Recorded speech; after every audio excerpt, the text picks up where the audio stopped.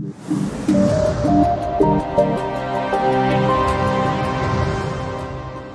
good afternoon, everyone. I am Pastor Jim, and we are here for another lunch recap. All right. Now, this particular one, this was the fifth message in the series of How to Hear God. And the title of this one I thought was very interesting here, but it's a point to think about here. And the title of this message was, Is God Blocking Me? Now, of course, again, it's the fifth message in terms of how to hear the voice of God. So, just how to hear the voice of God, part five. So, this is for somebody who is if you're dealing with some type of difficult situation or you're having a hard time trying to process some things, this is probably going to be for you. All right, so let's start with our memory verse. And we've been talking about this memory verse for a few weeks now. So I'm sure you all know it, but it's in Job 33 and 14. And this is For God does speak, now one way, now another, though man may not perceive it. God is saying something, God is always talking, God is speaking, one way, now another. He talks this way, then the next time he may talk this way, then he may talk this way, then he may talk this way. But we are the ones who don't fully understand what he's saying and what he is doing. So last week, either from the lunch recap, if you watched the lunch recap, some of you may prefer those, or if you actually heard the full message, we talked about dreams and visions. Today, excuse me, today we are talking about a new category. So we were discussing the ways that God can speak. So we said number one, that the Lord speaks through his word. The second one, that God speaks through people, through other people, through us and, and the other people that we interact with. We also talked about God speaking directly. And today we're going to deal with how God can speak through his actions. There are times when you may not necessarily hear the voice directly. It may not show up in a thought or in a dream or as you're reading the word or something that the Lord may bring you through somebody else but he can also speak through actions. And I want to show you how he can do so. So I want to go to the description, Acts chapter 16, and I want to start in verse 6. So Acts 16 and 6 says this After Paul and his companions traveled throughout the region of Phrygia and Galatia, having been kept by the Holy Spirit from preaching the word in the province of Asia. When they came to the border of Mysia, they tried to enter Bithynia, but the Spirit of Jesus would not allow them to. Now, first off, before we go anywhere, y'all don't butcher me over these names, okay? And, and, and in fact, when I read this again, I may say them different, okay? So y'all just go with me, all right? And if you need to break them down as in like place A, place B, place C, whatever it takes, because what we're trying to get to is not necessarily the places specifically, but certain things in this, all right? So again, let's actually read it one more time. Verse 6 Paul and his companions traveled throughout the region of Phrygia and Galatia, having been kept by the Holy Spirit from preaching the word in the province of Asia. Verse 7 When they came to the border of Mysia, they tried to enter Bithynia, but the Spirit of Jesus would not allow them to. Okay, Paul was traveling, he was spreading the word, and it says here in these two verses here that he had been two places, but it also says that he was being kept by the Holy Spirit from preaching the word in the province of Asia. The Holy Spirit was not allowing him to do so. They were attempting to go someplace to preach the word, but the Holy Spirit would not allow them to. And in verse 7 again, it says, When they came to the border of Mysia, they tried to enter Bithynia. Don't judge me, all right? But the Spirit of Jesus would not allow them to. What? The Spirit of Jesus. So this is now saying twice that the Spirit was not allowing them to go to a certain place. So I asked this question, I'm going to ask you the question as well too. Have you ever felt like you were stopped from doing something that you thought was good? Have you ever been stopped from doing something you thought was good? And in hearing about all of this and in trying to realize exactly what was going on, it gave me questions. All right, I, maybe this gives you questions, and if it does, these are some of the things that that go through my mind. See if they go through yours as well too. The question is, is that why was this wrong? Why did the Lord stop them from doing this? Why were they blocked? Because essentially, they were prevented, I, you know, I use the word blocked. They were blocked from doing this. Why were they blocked? Weren't they supposed to go to all of the world to teach the word? And then God, my question to you is, why would you stop them from doing something that you told them to do? So I have two questions here, and let's try to answer these two questions together. The first one is this: Is did the word need to be preached in Asia? Out of all places, did the word need to be preached in Asia? Of course it did. They were out there because they were told to go. Y'all, this description, Matthew chapter 28, verse 19 says, Therefore, go and make disciples of all nations. All nations. You see that? Go and make disciples of all nations. Baptizing them in the name of the Father and the Son and of the Holy Spirit. All nations, which included Asia. And there's another one in Acts chapter 1, verse 8, and it says, You will be my witnesses in Jerusalem and in all Judea and Samaria and to the ends of the earth. That's everywhere. You will be my witnesses everywhere, which includes Asia. So the question was, was that were they supposed to stop once they got to Asia? No. The word says in what they're hearing from God, what they're hearing from Christ himself is saying that you will go to all places. So yes, they were supposed to go there. But what about the next part here? The next question I had. We already established that they should be there. And the second one is this that God literally blocked them. And what I mean by that is it's almost like an invisible barrier. Like if they tried to push their way through, that God would push them back. Well, no, no, that's not the way that that particular thing went down. It doesn't look like that. Because could Paul have really gone to those places if he wanted to? Of course he could.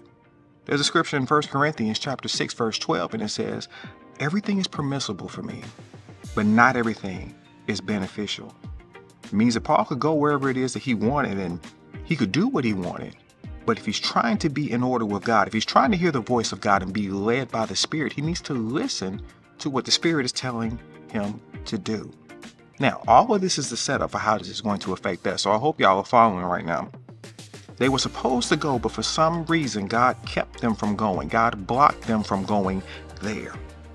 So let's read it one more time. Acts chapter 16, verse 7 through 10. When they came to the border of Mysia, they tried to enter Bithynia, but the Spirit of Jesus would not allow them to.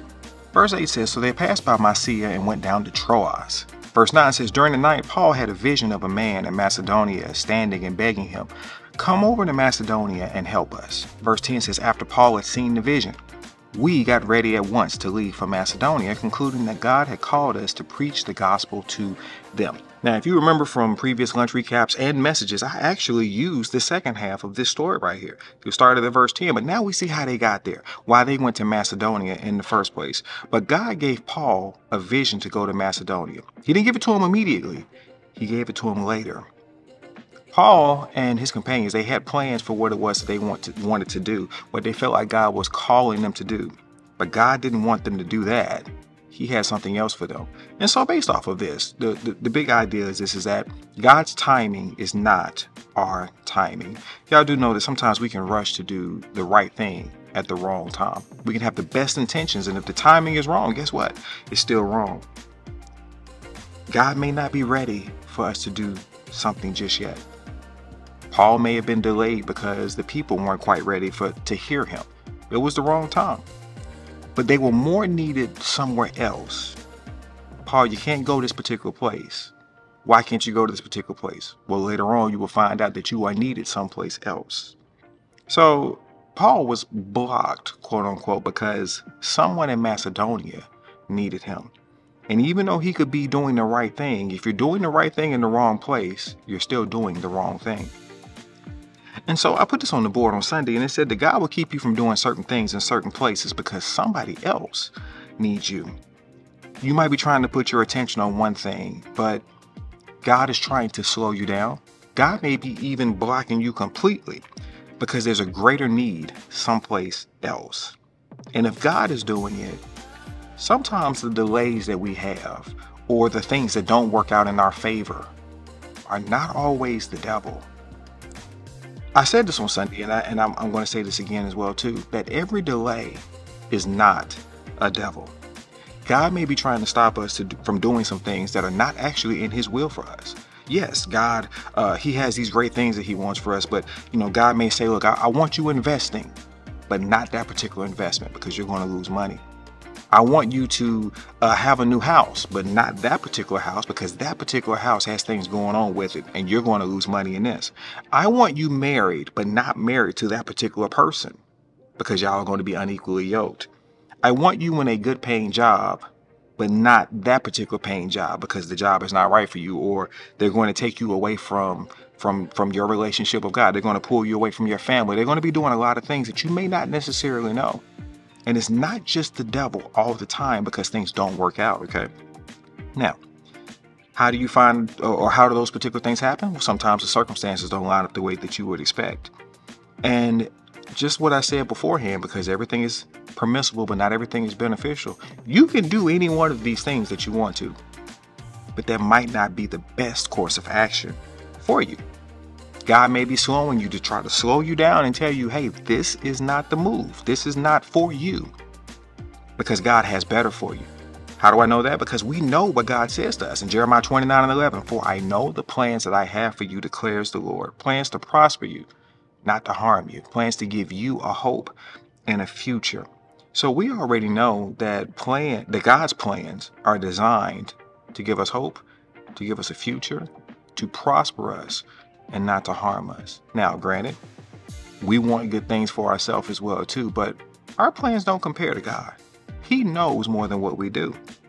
And God, if He is stopping us, He's trying to help us because there's a greater need somewhere else or something better for us someplace else. Now, another thing that we noticed as well too was that if you go back to the original scriptures that we started in terms of God blocking Paul from where he was going, it just said that the Holy Spirit prevented them from going. Didn't say why. Paul didn't find out until later on what the what the actual reason was. He was needed in Macedonia, but at the moment there was no explanation given. God didn't say anything. Paul just knew we can't go this way. God is not allowing us to be able to do so. God is blocking us for some odd reason. And so when it, when you think about that, God didn't explain himself. And because he didn't explain himself, we could also take that to us as well too to say that God doesn't owe us an explanation when he decides to move. I asked a question on Sunday about children. If you have children, one of the greatest questions you hear all the time from your children is, why? Now, sometimes it's because our children want to understand. Sometimes it's because our children want to find a better way to make it happen.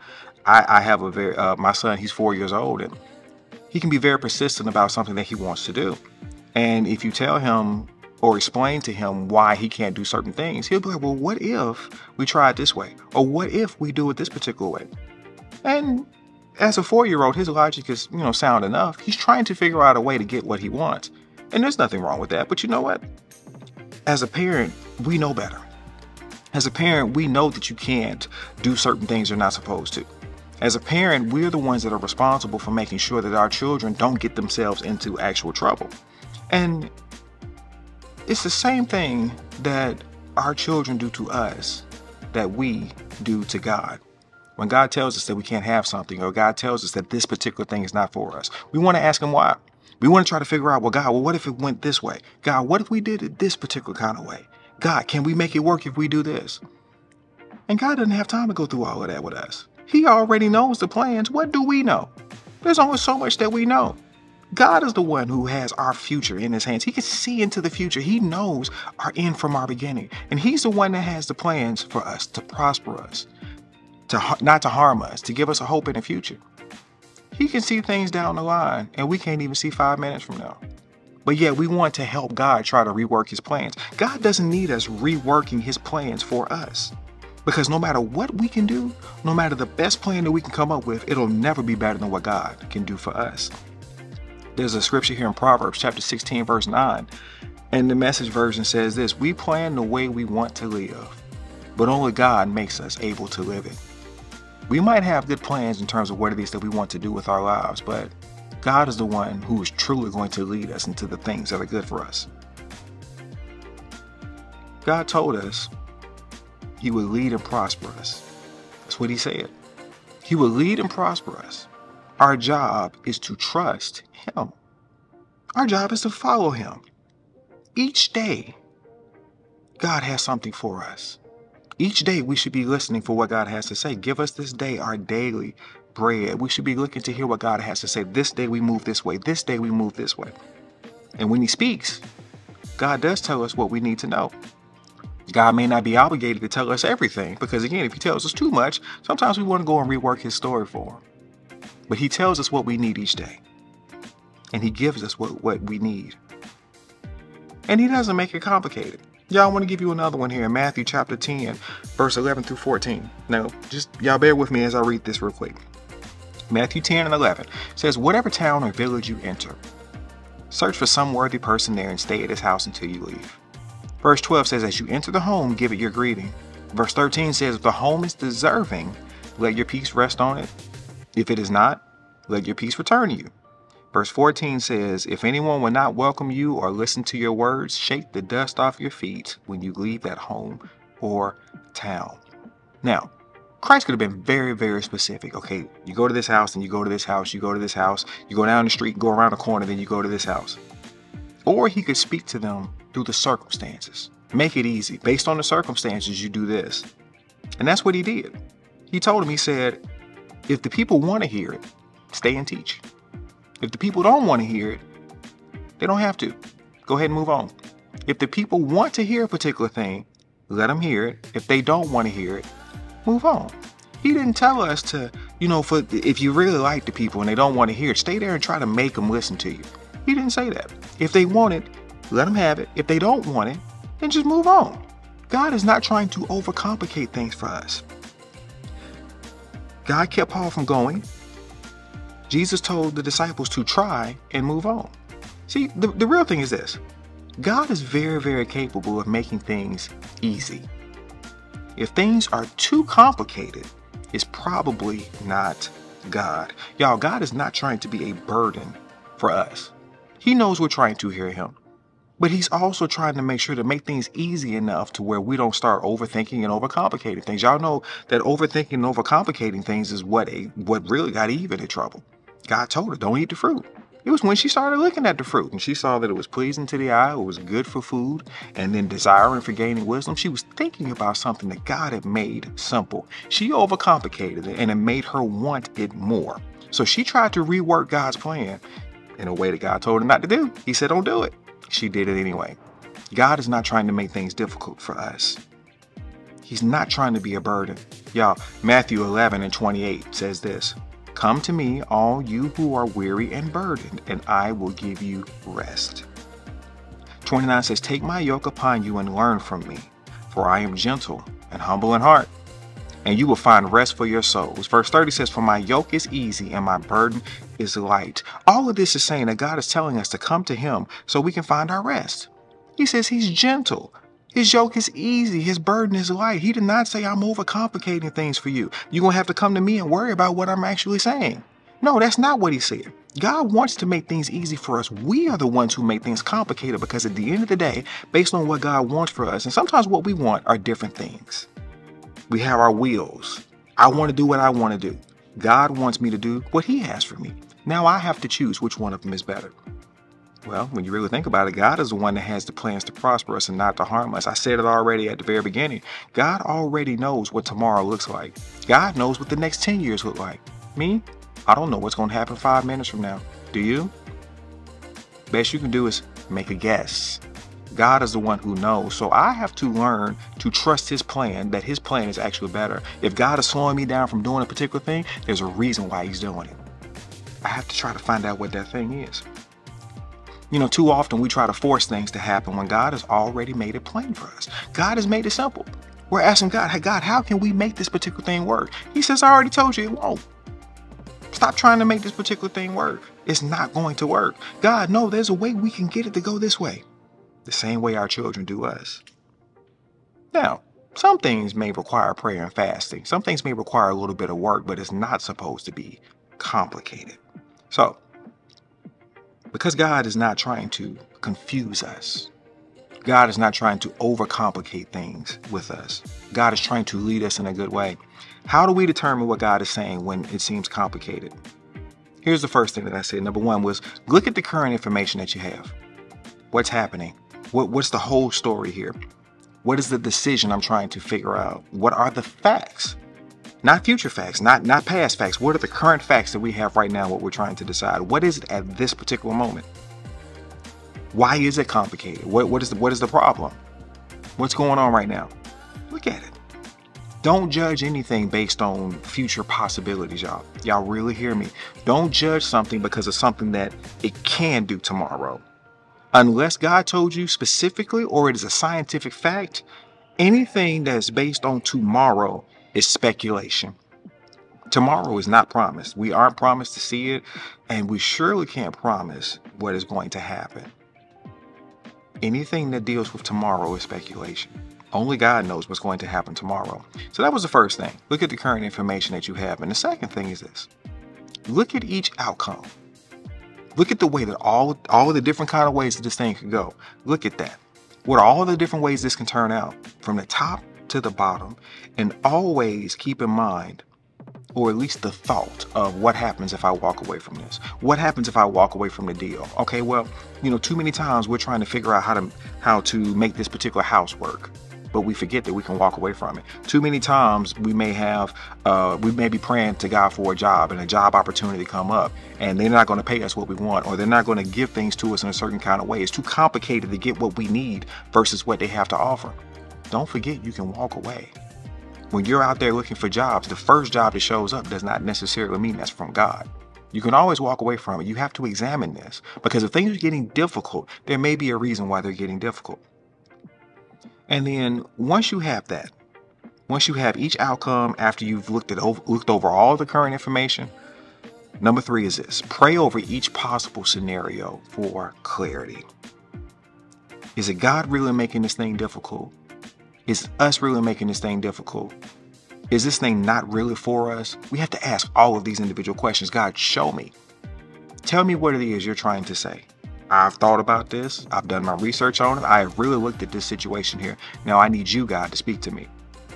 And I do really believe that because God's designed plan for us is to prosper us and not to harm us, I fully, really do believe this. And I believe you all believe this as well, too.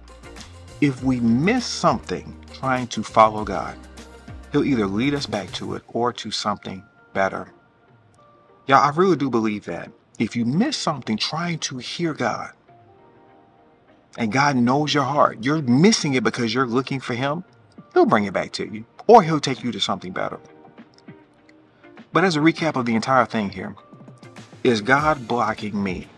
Well, you got to look at it. What are the things that we're trying to get right now? what are uh, what are the decisions that we're trying to make? Are the decisions difficult? Um, is there a process to that particular thing? We got to stop blaming everything on the devil because God might be trying to talk to us to say that this isn't it. This is not for you. This is not what I want for you. He may be preventing you from going to a particular place, just like Paul, because he has someplace else he needs for you to be. He may be preventing you from getting certain things because he has something else that he wants to get for you. Whatever those particular things are, start paying attention. Look over all the information that you have, pray about it, and see what God is trying to say to you. So if you're trying to hear God speak, remember that He does speak. We just got to listen. All right, so uh, I pray that this message was a blessing to you, y'all. If it was, if you would give us a like and share it with somebody else. You can also come visit us um, at the Guiding Light Church, 1800 John Rogers Drive, Birmingham, Alabama, 35210. Our services start at 9.30, and you can also catch us on the different media platforms. We're on Facebook under the Guiding Light Church. We're on YouTube under the GLC TV, and we'll be streaming live at 9.30 uh, on Sunday mornings, all right? And yeah, outside of that, Pray that you all have a blessed day. Y'all take care. We'll talk to you soon.